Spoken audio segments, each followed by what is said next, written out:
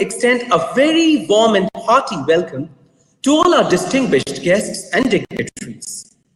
Ladies and gentlemen, I would now like to request Mr. N.G. Subramaniam, Chair TSDSI and Chief Operating Officer and Executive Director, Tata Consultancy Services for the welcome address.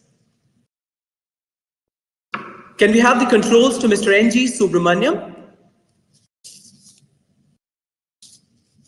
Thank you all. Um, uh, are you able to hear me well? Yes, sir. We are able to hear you. So please. You are able to hear me well? Yes, sir. We are able to hear you, sir. Thank you. Uh, good afternoon to everyone. Um, Sri Anshu Prakashji, uh, Secretary, DOT.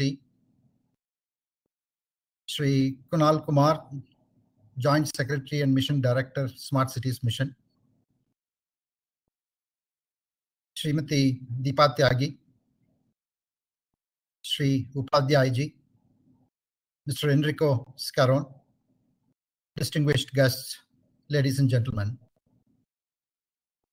It gives me great pleasure in welcoming you all to the CDOT TSDSI webinar on the national standards for IoT with specific focus from a smart cities perspective. Over the next four days, we have structured a very comprehensive agenda with some distinguished speakers to share their views, thoughts, and more importantly, the current challenges and issues we are all facing so that standardization can address those things in particular.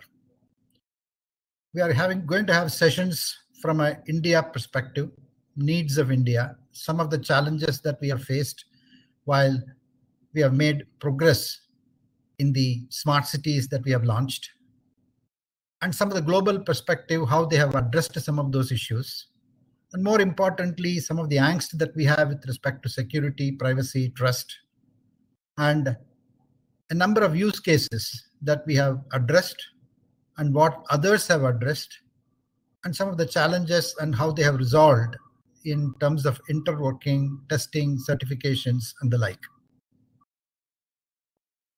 This particular webinar series is going to be very timely and very important as we look into the future.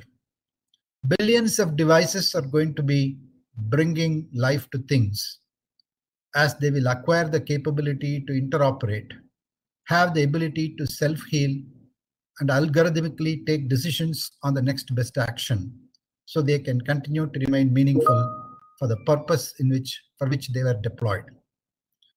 While executing the 100 smart city projects, we have made significant progress, but at the same time, lack of standardization on some of the detailed aspects have played some of the implementation aspects that we have.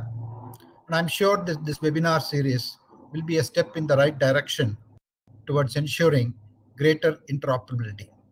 TSDSI took the first step to be working with oneM2M along with seven other global ICT standards development organizations in bringing the release two standards of IoT oneM2M, which was subsequently taken up for discussions and rolling it out as national standards by TEC.